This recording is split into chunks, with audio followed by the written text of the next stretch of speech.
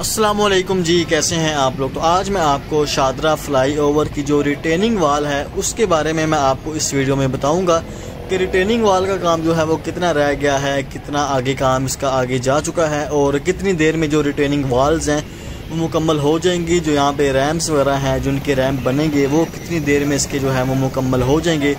तो video start करने से पहले अगर आप हमारे चैनल पर न्यू हैं तो आपसे गुजारिश है कि हमारे चैनल को जो है वो आप सब्सक्राइब कर लीजिए, ताकि हम इस तरह की मज़ीद वीडियोस आपके लिए लेकर आते हैं इन फ्यूचर में।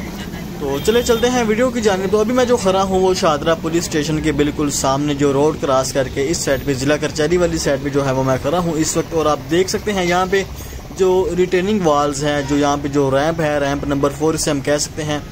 तो उसकी जो है वो कंस्ट्रक्शन जारी है। बाकी जो मेरे आप सामने अगर रोड क्रॉस करके आप देखेंगे वहाँ पे जो है वो रिटेनिंग वाल की जो एक साइड है यानी कि जो आ, हमारे राइट साइड वाली साइड है जहाँ पे शादरा पुलिस स्टेशन है वो साइड जो है वो मुकम्मल हो चुकी है और उसके अलावा जो ये वाली साइड है जहाँ पे अभी हम खड़े हैं यहाँ पे जो है एक्सीवेशन की जा रही है। एक्सीवेशन के बाद यहाँ पे जो है सबसे पहले लीन होगी। लीन के बाद फिर जो है राफ्ट का काम होगा और उसके बाद जो है हमारी रिटेनिंग वाल का जो है वो काम यहाँ से स्टार्ट होगा।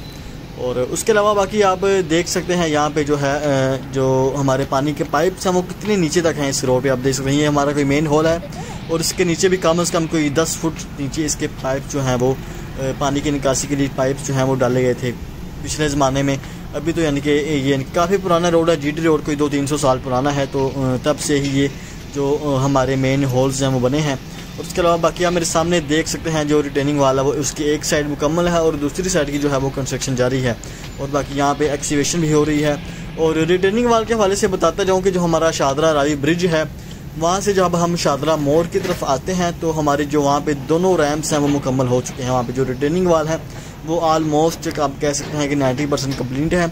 बस वहाँ पे जो फिनिशिंग का काम है रिटेनिंग वाल के हवाले से वो रह गया है। और इस साइड पे जो हमारा ज़िला कचहरी वाली साइड है इस साइड पे आप कह सकते हैं कि हमारी एक साइड जो है वो कंप्लीट हो चुकी है और उसी साइड की जो दूसरी रिटेनिंग वाल है, उसकी भी कंस्ट्रक्शन जारी है, उसका आधा काम हो चुका है और आधा काम रह चुका है।